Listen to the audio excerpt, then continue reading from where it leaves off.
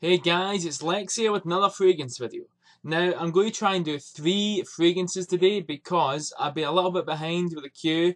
It's 14th December, I'm still ahead of schedule because it's maybe the 16th, but still, I'm trying to do two videos per day um, if I can. But it's just a bit of the way I've been working and stuff. I've been really, really tired. I planned to do one yesterday, do two, and I was just so damn tired.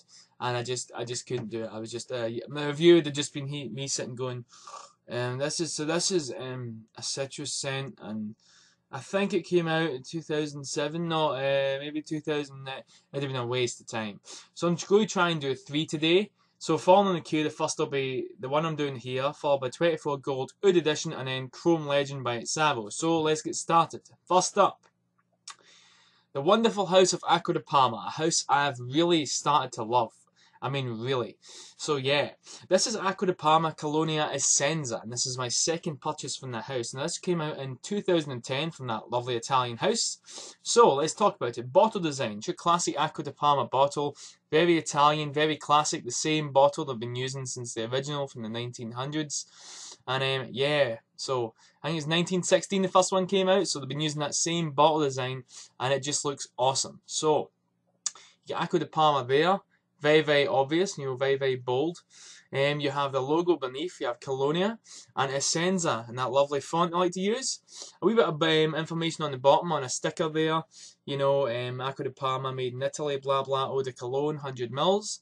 So yeah, this runs about £83 for a bottle. I got the the special set with the big fancy, I'm trying to see if I've got the box here. Yeah, I do.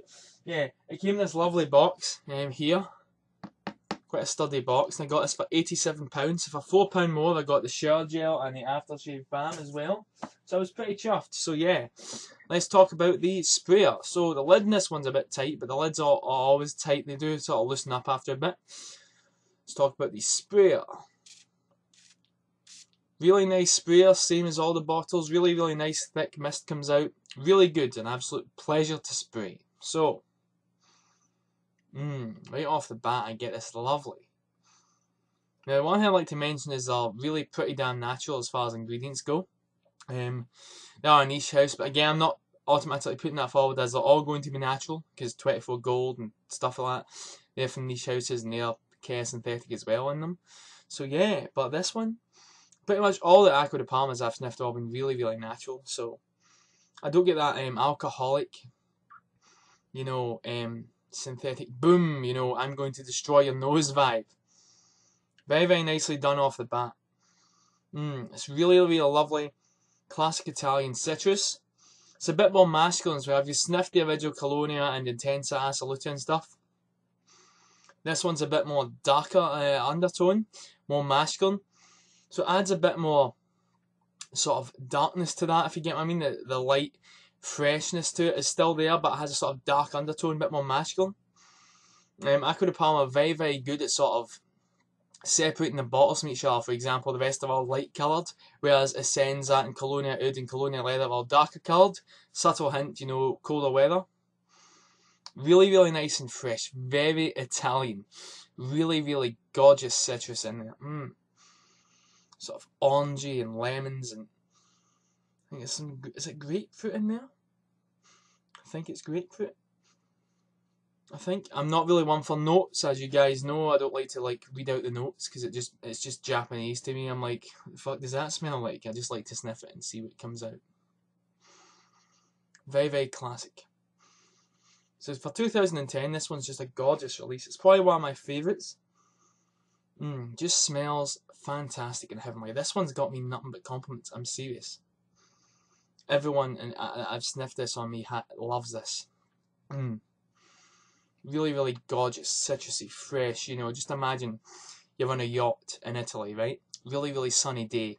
You've got, you know, your, your Ralph Lauren polo shirt on, you know, flapping, you know, really loose. You've got, you know, linen trousers on. You've got, um, you know, what they called, uh, espadrilles on, you know, no socks. Just really, really chilled, nice hot day and you're getting whiffs of this coming out your shirt. That's what I get with this. Mm, really fresh, absolutely gorgeous. Just takes me to Italy in the summer. It's the first thing. Just one sniff, and I imagine that whole yacht, polo shirt, linen trouser, espadrilles thing. going on first sniff. So, let's talk about performance. This one's a bit better than the originals. Performance for this one, longevity, I get about 8 to 10 hours on my skin. Um, by about the 10th hour though, I'm digging my nose in quite close to sniff it. So it is dying out after that. This one isn't a concentree like Oud and Leather are. It's still fairly strong. Performance isn't too bad. So about 8 hours of easy sniffing and then after that to the 10 hours, it's sort of just about disappearing. You dig your nose in a bit. Yeah. Now projection with this one, it projects about an arm's length for the first hour. First hour, um, roughly about an arm's length. Maybe it goes, maybe 45 minutes it starts to go down to just under an arm's length. So imagine the end of my fingers right about my arm right out. Just about there, my wrist is, the projection goes about that after 45 minutes. After about the second hour, it's about half an arm's length, maybe less. Just under half an arm's length. But the third hour, a few inches above the skin before becoming a skin sign, absolutely on the fourth hour. So it's not a projection beast, but again, um, this is why these ones you can wear all round. Versatility with this one is just off the charts, but we'll get on to that later. How many sprays with this one? With this I would recommend about 5 sprays, maybe 6 in the colder weather. Winter like it is now, I would say 6 sprays. Autumn 5, summer maybe 3 or 4. You know, spring uh, maybe 4. But 4 in spring, but maybe 3 or 4 in summer. Uh, depending on how you want to do it, depending on how things are, where you're wearing it, how hot it is where you are. Yeah. Age group. This one I would say is for someone in their mid 20s. I would say 25 plus with this one. It's not the most youngest smelling scent, I'd say, but 25 plus. It's got enough freshness, freshness so it's not too dated, but it does have a, a, that sort of classic citrus in there. So it's definitely not. If you're 16, you won't be really appreciating. You're 16, you're going into high school, right? Everyone else is wearing Joop and 1 million, Diesel and the Brave, and you're wearing this. It's not going to be appreciated. But if you turn up to a cigar club where everyone's wearing Tom Ford Tobacco Vanilla, Colonia Leather, etc., this will be appreciated. You get my drift? So yeah. So, with this one, I would say where to wear this sort of versatility. This one gets a 10 out of 10 versatility for me.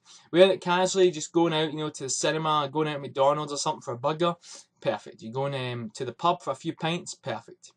You're dressing up, you've got a wedding, you got a formal event, perfect. You've got a date, perfect. It's really, really nice. Mm, very, very fresh. So if you're dating an Italian woman, you wear this. You will get laid, and you'll probably end up getting married within the next month. So, you know, I warn you, you know. Don't say I didn't warn you if that happens, you know. Damn it, I ain't getting married and I didn't even know about it. I'm blaming that Lex. No, don't blame that Lex. Lex is love. Lex is life. 330 subscribers can't be wrong. Although that'll probably half after that comment.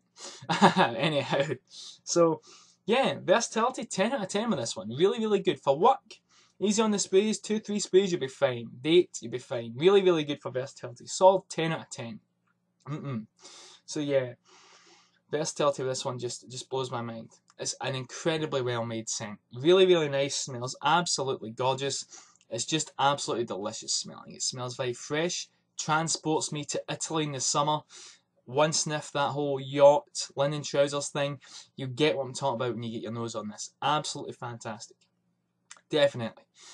Um, I, I, also like the fact that the di Parma advert has this and Oud and leather, and I have all three of those, and I lined them up on my Facebook page and took a picture. It looks just like the advert, you know, except lower quality because I've not got a big expensive thousand pound camera, sadly.